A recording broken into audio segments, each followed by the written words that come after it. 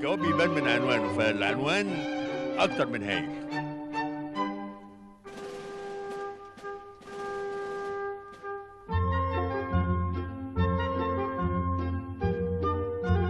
فرحان إن مهرجان بلدي بالدوره ال 37 ليه ووسط الظروف دي كلها برضه بيقام وبرضه بيتحدى الظروف دي كلها.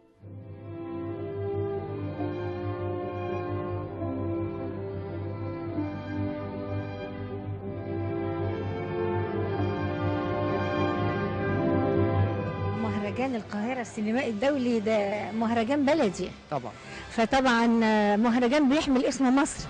يعني مفيش أحلى من الليلة دي.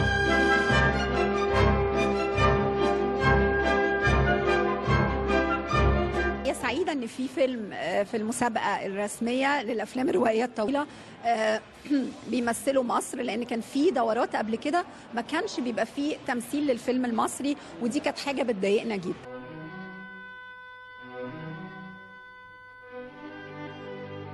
تمام التنظيم هايل for change الناس مش بتتزاحم على النجوم وده شيء جميل. وإن شاء الله تبقى دورة ممتازة ونتفرج على أفلام ممتازة إن شاء الله.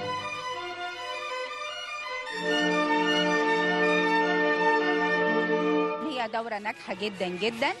يكفي إنها دورة بتحمل أسماء عظيمة وكبيرة لن تتكرر في حياة السينما المصرية والعربية والعالمية فاتن حمامة وعمر الشريف والنجم الكبير نور الشريف و... وتكريمات لفنانين كبار ووجود كلوديا كاردينالي معانا آه، نجمة عالمية كبيرة.